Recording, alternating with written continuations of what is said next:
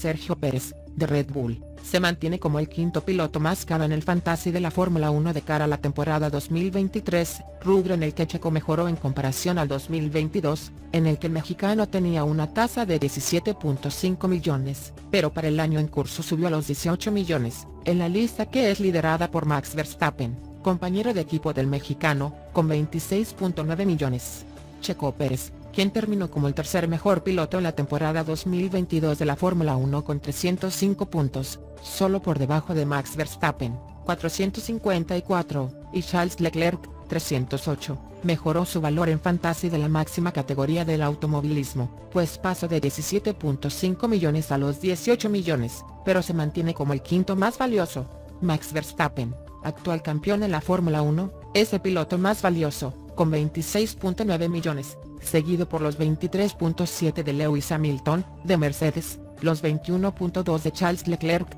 de Ferrari, y por los 18.6 de George Russell, de Mercedes. Además de Checo Pérez, el top 10 no completa, Carlos Sainz, de Ferrari, con 17.2, seguido por los 11.2 de Lando Norris, de McLaren, los 9.4 de Esteban Ocon, de Alpine, los 8.3 de Fernando Alonso, de Aston Martin, y los 8.1 de Pierre Gasly, Alpine. La temporada 2023 de la Fórmula 1 comenzará el próximo fin de semana con el Gran Premio de Bahrein, circuito donde en días pasados se celebraron las pruebas de pretemporada, mismas que cerraron con Checo Pérez como el piloto más rápido. Cabe recordar que Red Bull viene de dominar la Fórmula 1 en la temporada 2022, en la que tuvieron a Max Verstappen como el campeón en el rubro de pilotos, pero también se hicieron del título de constructores, gracias al equipo que conformó el neerlandés y Checo Pérez.